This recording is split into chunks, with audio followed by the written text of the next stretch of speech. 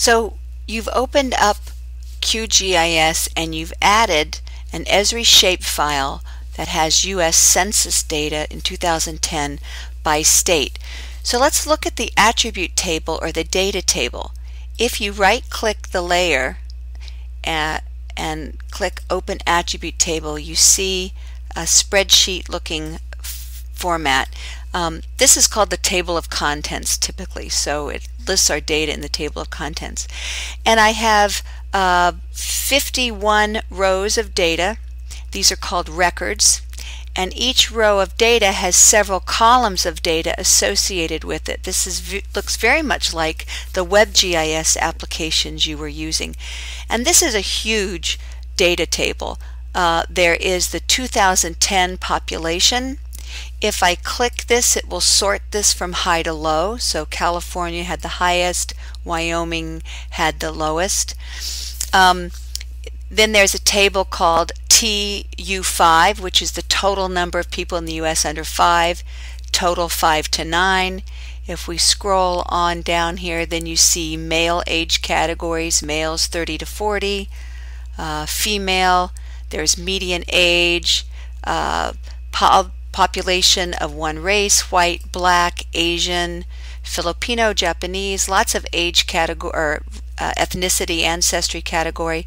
Then there's some information about uh, household size, far, family sizes, how many housing units occupied, how many for rent, for sale. Uh, and then there's information about the uh, area of the land, area of water, and uh, the, the length of the polygon, uh, the perimeter of a state, and the area of the state. A lot of information in the attribute table um, and let's go back and I'll show you why that is highlighted. Um, at some point, I clicked oh, North Carolina, and so North Carolina is showing up highlighted on my map. If I click the 39 for Illinois, Illinois will be uh, highlighted on my map. And I have not figured out how to make it go away, so we'll deal with that here in a minute. Why is that doing that? Okay, I found that. Under layer, um, I can go to, no I can't. Wait a minute, wait a minute. I don't want to remove the layer. That will take that up, remove that for the whole thing. Where did I see that? View, there's something about unselect. Zoom to select, last select. Here it is. Under view, select,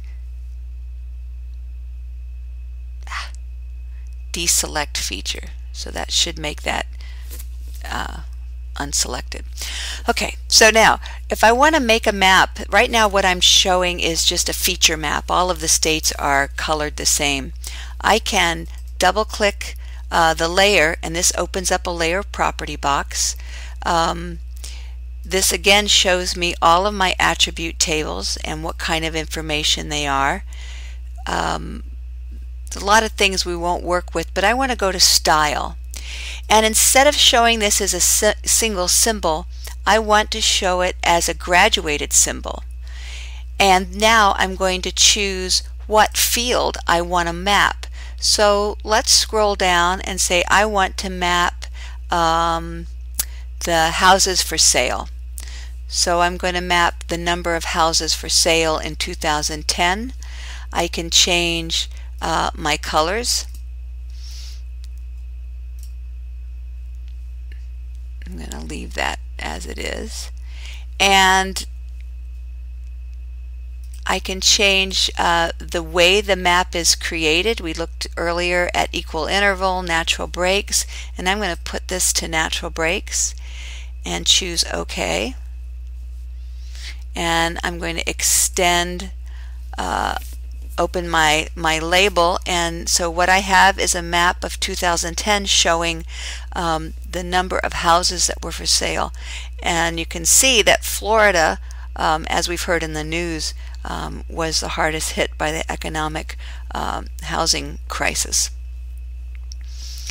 I can also add another layer or add the same layer a second time so I'm going to add this again uh, choose the same projection I had before. And now the new layer is on top of my old layer. If I turn that off, I can see my old layer. But I can make a second map choose graduated and I want to look at um, for rent. I want to choose natural breaks and OK. So I can compare now a map of houses for rent with houses for sale and see if there's any difference in my pattern. Looks like um, Washington tends to be a little higher in the for rent than it was in the for sale. So you could do some comparisons, some spatial uh, changes with this kind of data. The last thing I'll show you is, let's just look at some of the um, racial or ethnicity data. And one of the things that's a little bit of a problem with the map that we're working with is that um, you don't have data that is related to um,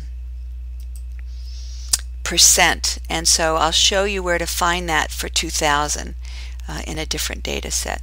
So I chose uh, black or African American in 2010 and this is just showing the total number uh, this doesn't show as a percent of population for that state but you see a pretty interesting uh, spatial difference of uh, the black population in the US.